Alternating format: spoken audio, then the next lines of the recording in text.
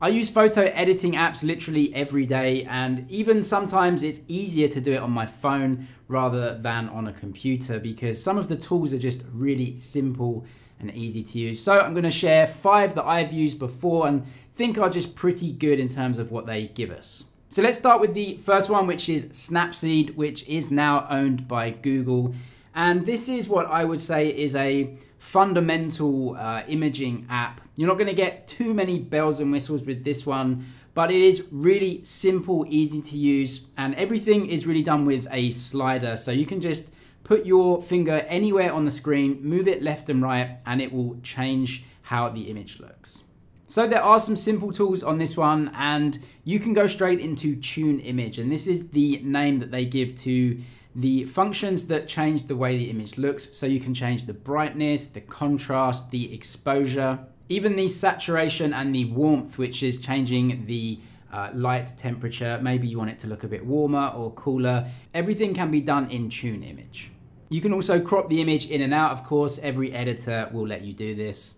And there are some styles on Snapseed. Definitely not the biggest selection. I think some other apps maybe have uh, a bigger selection of styles and uh, presets that you can use straight away, but there are some on this one and you might want to check them out. What's really good about Snapseed though is that they have this brush and with the brush you can actually change the image. So let's say you want to change the exposure or the contrast in an image, maybe the highlights are too bright, you want to bring them down. Well actually with a brush you can selectively change the exposure or the saturation or the color warmth just where you place the brush, which means you can be really selective about your edits. Usually with apps, you can only change the whole image. So if you want to make it a little bit darker, then all of the image gets darker or brighter. You can change uh, highlights and shadows separately in a lot of apps, but this one is really good in the way that you can just touch the screen and change anything you want using that brush really selectively. Next, we have the Adobe suite of apps, and actually, Adobe make a great set of free applications for editing pretty much anything. So you should go and check them all out because you can sign up for an Adobe uh, Cloud account. You don't actually have to pay a subscription for the free apps that they give you. There are subscriptions too that you can use that give you access to a lot more features, but the free features are really good as well. So for me, Photoshop and Lightroom are the easiest to use and the ones that I use most often.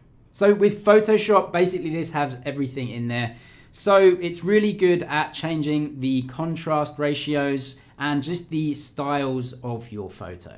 They have a ton of preset styles, otherwise known as LUTs or lookup tables, that can be put on top of your image and completely change the look and feel of it. There's a lot more on Photoshop, for example, than on Snapseed. You can put these overlays on, as they call them. It changes the style completely. You can also choose how much of that overlay you want. So if it's a bit strong in terms of how it changes your image, you can just turn it down a little bit until it looks better.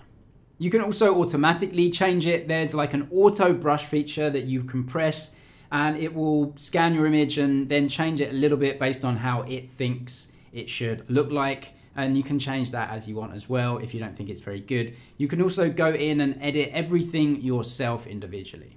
Again, it uses a slider system, so choose what you want to change, for example, the contrast or the colors, and then just change it with the slider bar. It's super easy, and you can just make your images pop and just look a little bit better like they were taken on a proper camera using Photoshop. Lightroom is more or less the same as Photoshop. Actually, they do have a lot of overlap. And only really when you move up to the paid version do you get a lot more features in Lightroom. But Lightroom does pretty much the same thing. You can just change the way that the image looks. You can change the contrast and the difference between the shadows and the highlights.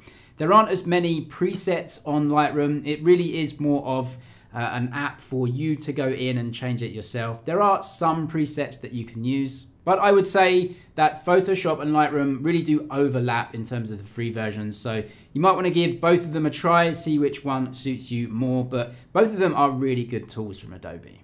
I've put Canva on the list and this is a kind of different one. It's not a photo editing tool as such like uh, Photoshop or Snapseed.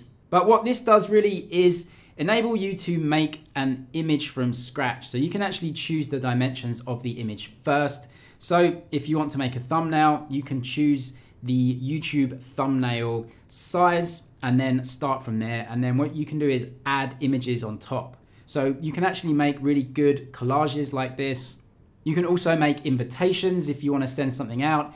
If you want to have maybe a banner or something, or you want to actually make a post on Instagram that isn't a photo, you want to actually just edit something into it, then you can use Canva and it's a really good tool for that. Canva does have some tools as well to edit the look of images, so you, you can change the brightness and the exposure and everything like that. Definitely not as in-depth as something like Photoshop, but it has its own unique strengths and it's something I use all the time. Airbrush is one that you might want to have a look at. It's definitely unique in the features. This one really, it isn't about changing the colors or the exposure or the brightness like Photoshop would be. But Airbrush, as I guess you can tell by the name, is an airbrush tool app. So if you want to edit images, like they do in the magazines, change the shape of someone's face, change the color of the skin, change uh, the eyes bigger, smaller, change the face shape, give someone a massive forehead. It can really get pretty grotesque, I must tell you. But all in all, a very powerful app to think that you can do all of this on your smartphone. You can really change the way someone looks to be completely unrecognizable. It's definitely a fun app. I'm sure it's useful for a lot of people, maybe not useful for others. But considering this is free, I think it's really powerful that you can pretty much change the way anybody looks completely on your smartphone. PicsArt has made the list in this video. This is very different to the others in, I would say that you can add a lot of themes onto your photos, which might be something that you want to do.